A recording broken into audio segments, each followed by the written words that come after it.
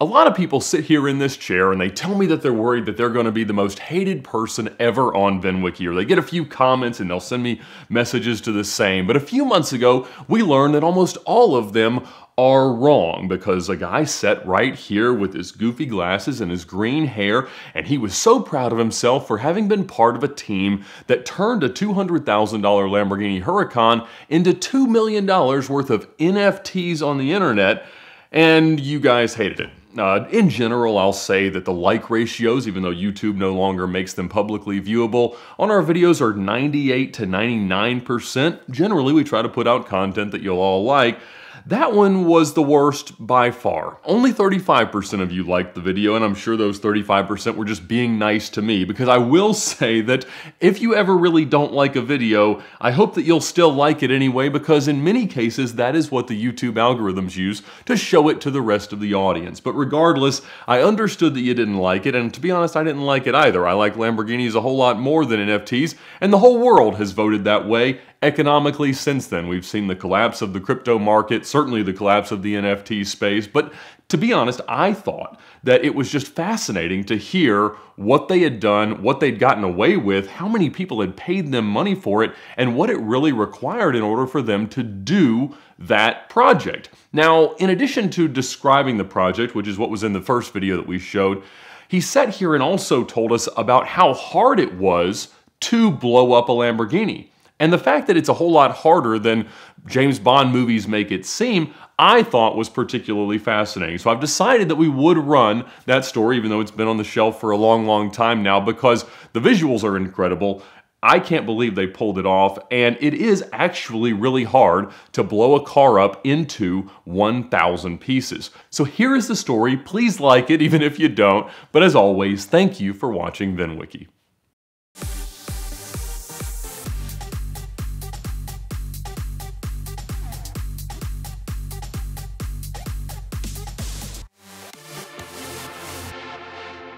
The car project took place from December of 2021 through March of 2022.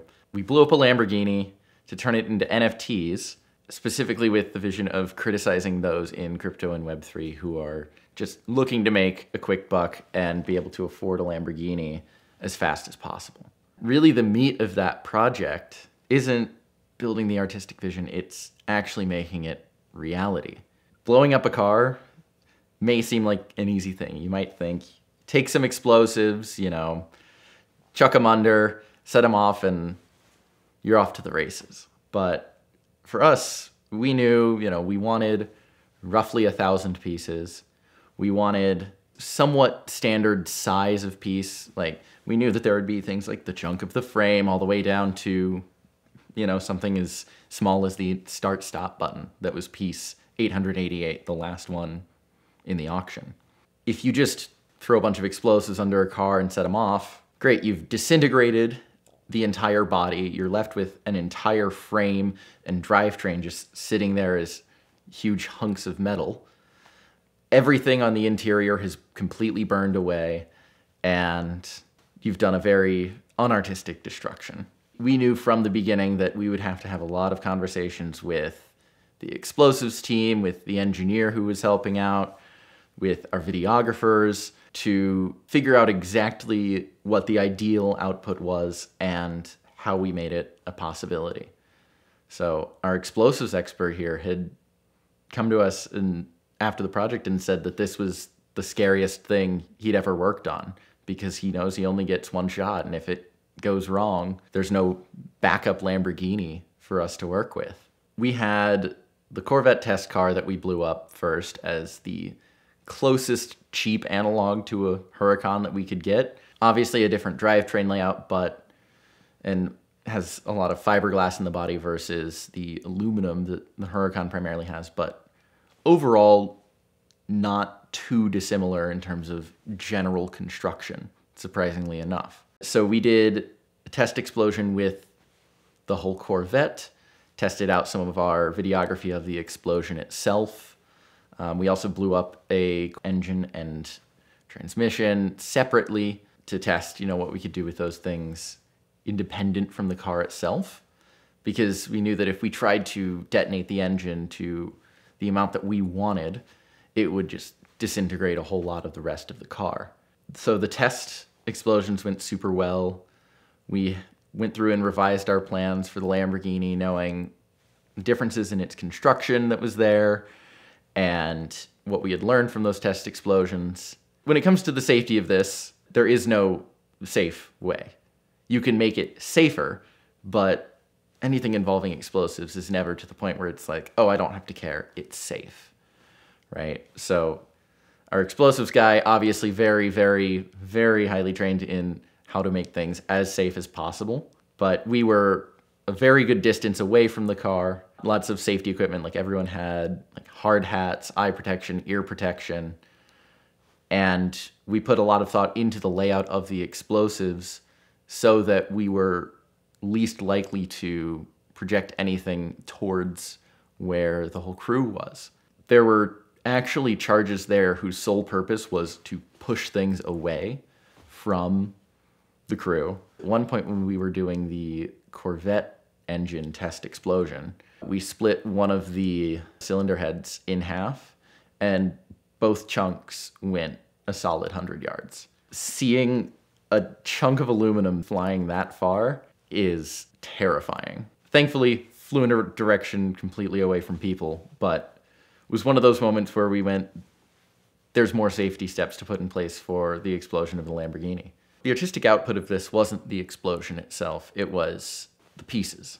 But in many ways, to the artist behind this project, the process of making art is, in some ways, art in itself. There was this massive amount of effort that went into making that explosion happen and so much coordination that in some ways it's similar to how you know we talk about things as a well-oiled machine and view that as a type of beauty the execution of this project itself was quite similar to that so it was very important for us to capture the explosion itself um, and also obviously saying we blew up a lamborghini and just seeing a bunch of pieces and never seeing an explosion is definitely less eye-catching and less convincing than we blew up a Lamborghini, seeing the explosion and seeing the output of that.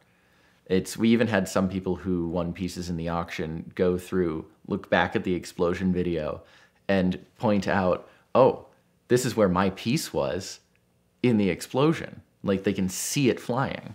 We had a lot of effort put into actually capturing it. We had two Phantom high-speed cameras. We had two drones flying through the fireball of the explosion itself. We had a handful of other cameras set up in protective enclosures very close to the car. And that was something that was incredible to coordinate so precisely. Because the drones, you have to time it perfectly for them to get through the fireball at the right time. You know, in the video, you can see pieces flying that they look, it looks like they're about to hit the drone itself. Just timing that that well was super hard.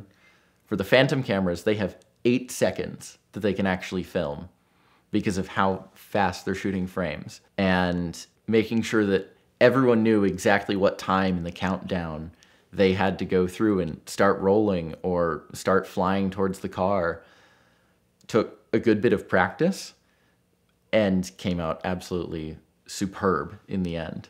And for the Phantom cameras, we also had to build a protective enclosure around them. You know, the Lamborghini is an expensive car. These cameras are the same price as the Lamborghini itself, essentially. And that's before you get all the kit around them. So if we had damaged these cameras, you know, say it was just something happened and, you know, we broke a lens, that could have been $50,000. If we killed the camera body, that's a quarter million. So the protection that we had to build for those was intense. And, you know, it was also at a distance further away than, you know, quite a bit of the crew for it. Like, it was intense. And getting insurance for those cameras was probably one of the trickiest problems that we had to solve for the project. I think my biggest takeaway from blowing up a Lamborghini is, you know, for me personally, it has changed my attitude towards cars in a way that I've started seeing them more as, you know, vehicles. They're meant to be driven, they're meant to be used. And at the same time, I have a much higher level of respect for what goes into them because I've gotten to see all of the intricate details of what makes a Lamborghini a Lamborghini. This, this is the kind of project that most people go, they, when they hear about it, they say, that's crazy, that's ridiculous, why would you do that? How would you do that?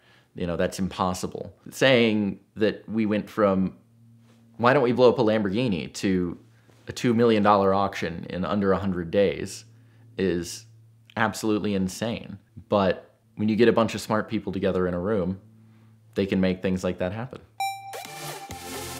When you get a ticket, no matter where it happens, it's more important than ever to fight every one.